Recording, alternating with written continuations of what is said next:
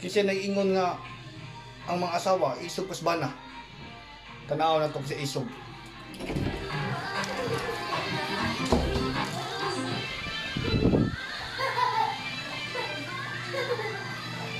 Uy, isog ka?